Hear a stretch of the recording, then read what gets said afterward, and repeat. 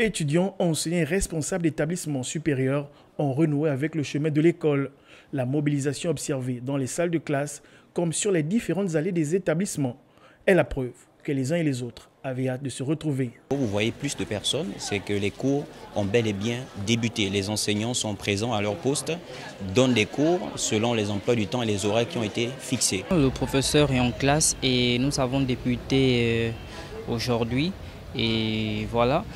Donc euh, nous sommes en train de faire actuellement un cours euh, introduction à la gestion comptable et la journée commence très bien. Moi j'ai bien débuté mon cours. Il ne s'agit pas que de la prise de contact. Les cours ont bel et bien débuté. Donc euh, comme un tout premier jour, ça commence toujours un peu timidement. Les étudiants sont toujours en train d'arriver. Les salles ne sont pas encore bien pleines aujourd'hui.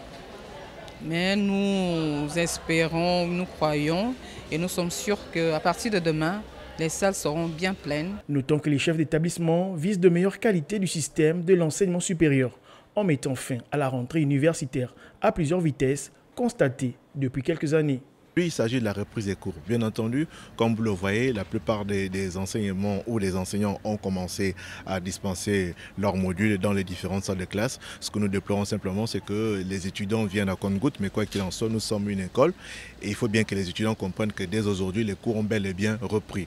L'avantage que nous avons, c'est que nombreux sont sensibilisés et donc ils sont majoritairement dans les salles de classe. Il est important de noter que pour Hervé Ndomessingon, ministre de l'Enseignement supérieur, la formation des étudiants doit répondre aux exigences des marchés du travail en pleine évolution, adaptés aux réalités locales.